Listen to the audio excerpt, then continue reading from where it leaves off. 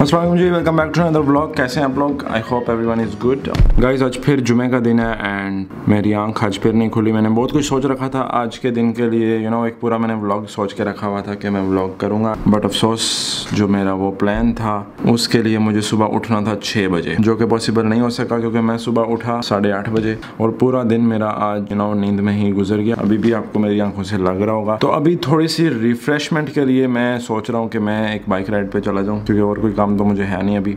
So guys I am going for a ride okay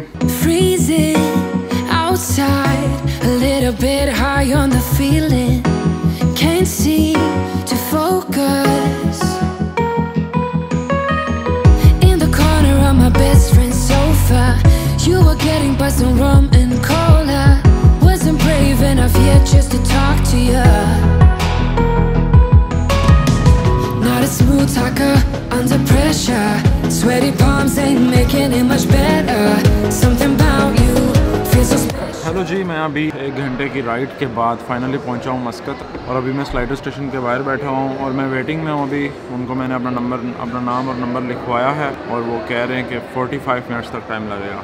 तो अब देख लो आप फेवरेट बर्गर खाने के लिए 45 मिनट्स हमें वेट करना पड़ेगा।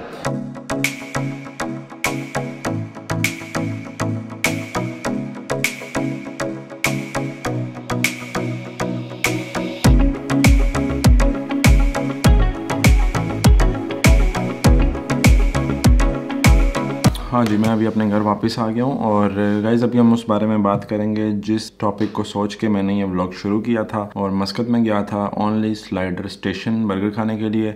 और गाइज़ जो बर्गर था ना, क्या बताऊँ मैं आप लोगों को बीफ बर्गर था वो और उन्होंने कहा था ये हमारा सबसे फ़ेमस वाला बर्गर है।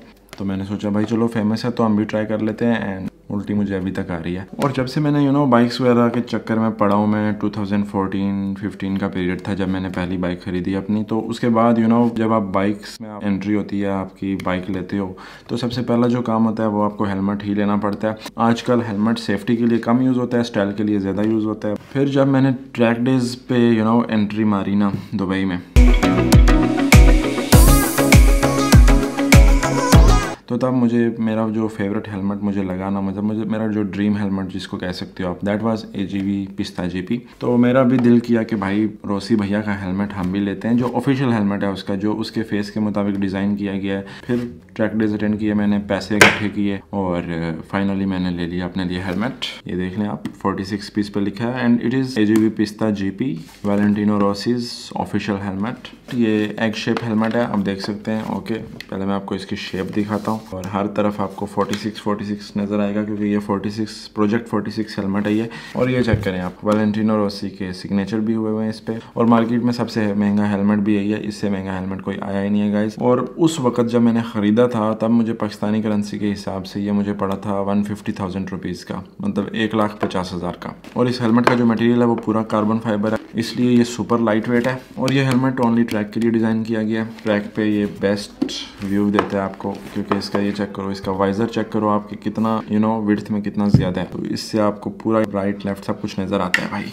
ओके गाइज़ तो ये मेरा ए जी पिस्ता जी पी इसको मैं अभी साइड पे रखता हूँ और आपको दिखाता हूँ मैं अपना दूसरा हेलमेट जो कि मैं हार्ली डेविडसन पे पहनता हूँ। So guys this is H J C I S cruiser helmet open face helmet और वेट भी इसका काफ़ी कम है। ये कितना छोटा सा हेलमेट है और ये आप चेक कर लें कितना बड़ा रेस हेलमेट है, लेकिन फिर भी ऑलमोस्ट सेम वज़न है। कोई भी इस साइज़ का हेलमेट होगा तो उसका वज़न बहुत ज़्यादा होता है। और आप जब रेसिंग कर रहे हैं या ट्रैक पे हैं तो हेलमेट ज़्यादा वजनी है तो वो आपको प्रॉब्लम देता है। टाइटल आपने ऑलरेडी वीडियो का देखा होगा। One fifty thousand rupees helmet versus fourteen thousand rupees helmet काम दोनों हेलमेट सेम ही करते हैं। ये भी आपकी खोपड़ी को बचाता है आई I मीन mean आपके सर को, और ये हेलमेट भी आपके सर को ही बचाता है। लेकिन इसको पहन के आपका फेस थोड़ा सा रिस्क में होता है, क्योंकि अगर मैं गिरूँगा बाइक से तो मेरे फेस और चिन पे कोई भी प्रोटेक्शन नहीं। सर मेरा बच जाएगा, लेकिन अगर मैं फेस के बल गिरूँगा तो मेरा फेस चिन टूट सकती है, जो कि ऐसा होगा नहीं कभी इनशाला क्योंकि हम लोग चलाते ही हंड्रेड की स्पीड पे यार हार्ली डेविडसन बाइक इतनी ज़्यादा तेज चलती ही नहीं है। ये मतलब नहीं है कि चलती नहीं है, तेरह सौ सी इंजन है उसका। लेकिन उसको हम चलाते ही one hundred twenty one hundred ten पे क्योंकि राइड को एंजॉय करना होता है गाइस मौसम भी आजकल बड़ा ही मस्त हो रहा है। अदर थिंग इसमें ये वाइजर भी है, जो कि होना चाहिए, लाजिम हेलमेट में गाइस हार्ली में मैंने देखा है काफ़ी लोग वाइजर के बगैर हेलमेट यूज़ करते हैं और ग्लासेस पहनते हैं। पता नहीं वो कैसे चला लेते हैं यार। मुझसे तो नहीं होता है ऐसा। क्योंकि जब 80 90 की स्पीड से बाइक जब ऊपर जाती है तो आँखों में हवा पड़ना शुरू हो जाती है। तो इसकी मज़े की बात यह है कि ये वाइज़र हम डाउन कर लेते हैं, जो कि यहाँ तक आता है। कानों पे हवा बचाने के लिए हम मास्क पहन लेते हैं साथ में। आपने ऑलरेडी देखा होगा मुझे ब्लॉग में। So this is it guys ये था दोनों हेलमेट्स का कंपैरिजन रोड पे ये हेलमेट बेस्ट काम दिखा रहा है। ट्रैक पे ये हेलमेट बेस्ट काम दिखा रहा है। और बहुत जल्द हम ट्रैक पे भी जा रहे हैं इनशाला तो ठीक है फ्रेंड्स अगर आपको ये वीडियो अच्छी लगी है तो लाइक करो सब्सक्राइब करो। तो take care everyone okay bye